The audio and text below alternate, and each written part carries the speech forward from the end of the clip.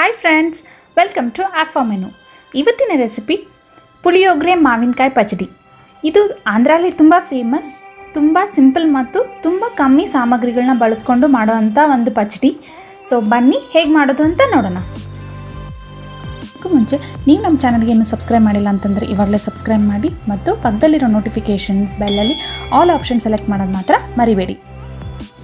ಮಾವಿನಕಾಯಿ ಪಚ್ಚಡಿ ಮಾಡೋದಕ್ಕೆ ಮೊದಲಿಗೆ ಒಂದು ಹುಳಿ ಮಾವಿನಕಾಯಿ ತೊಗೊಂಡು ಈ ಥರ ಚಿಕ್ಕ ಚಿಕ್ಕ ಪೀಸಸ್ ಆಗಿ ಕಟ್ ಮಾಡ್ಕೊಳ್ಬೇಕು.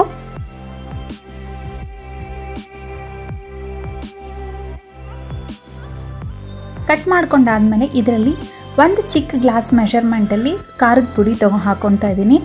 ನೀವು ಯಾವುದರಲ್ಲಿ ಹಾಕೊತೀರಾ ಅದೇ ಮೆಷರ್ಮೆಂಟ್ಸಲ್ಲಿ ನಮ್ಮ ಉಳಿದ ಇಂಗ್ರೀಡಿಯೆಂಟ್ಸ್ನು ಕೂಡ ಹಾಕ್ಕೊಳ್ಳಿ ಇಲ್ಲಿ ನಾನೊಂದು ಚಿಕ್ಕ ಗ್ಲಾಸ್ ಮೆಷರ್ಮೆಂಟಲ್ಲಿ ತೊಗೊಂಡಿದ್ದೀನಿ.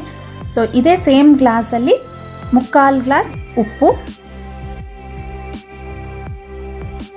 ಮತ್ತು ಸೇಮ್ ಗ್ಲಾಸಲ್ಲಿ ಒಂದು ಗ್ಲಾಸ್ ಸಾಸಿವೆ ಪುಡಿ ಹಾಕ್ಕೊಂಡು ಇದೆಲ್ಲ ಚೆನ್ನಾಗಿ ಮಿಕ್ಸ್ ಮಾಡ್ಕೊಳ್ಬೇಕು. ನಂತರ ಇದರಲ್ಲಿ ಒಂದು ಗ್ಲಾಸ್ ಎಣ್ಣೆ ಹಾಕ್ಕೊಂಡು ಅದನ್ನು ಚೆನ್ನಾಗಿ ಮಿಕ್ಸ್ ಮಾಡ್ಕೊಳ್ಬೇಕು.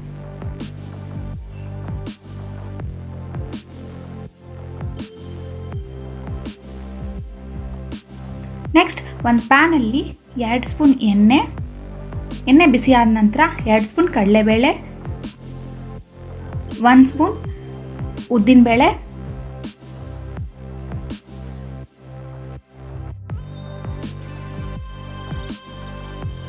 ಒಂದು ಸ್ಪೂನ್ ಸಾಸಿವೆ.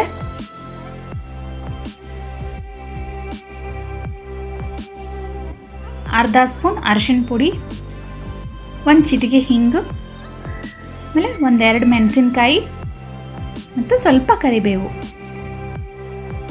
ಪುಳಿಯೋಗರೆಗೆ ನಾವೇನು ಹಾಕ್ಕೊತೀವಿ ಒಗ್ಗರಣೆ, ಅದೇ ಥರನೇ ಇದನ್ನು ಕೂಡ ಹಾಕ್ಕೊಳ್ಬೇಕು ಸೊ ಇದನ್ನು ಹಾಕ್ಕೊಂಡು, ಒಗ್ಗರಣೆ ರೆಡಿ ಮಾಡ್ಕೊಂಡಾದಮೇಲೆ ಇವಾಗ ಮೊದಲೇ ಮಾಡಿಟ್ಕೊಂಡಿರೋ ಪಚಡಿ ಮಿಕ್ಸ್ಚರ್ ಮೇಲೆ ಇದನ್ನು ಹಾಕ್ಕೊಂಡು ಮುಚ್ಚಳ ಮುಚ್ಚಿ ಮೂರು ದಿನ ನೆನೆಯೋಕೆ ಬಿಡಬೇಕು. ಮೂರು ದಿನದ ನಂತರ ಎಣ್ಣೆ ಎಲ್ಲ ಹೀಗೆ ಹೊರಗೆ ಬಿಟ್ಕೊಂಡಿರುತ್ತೆ.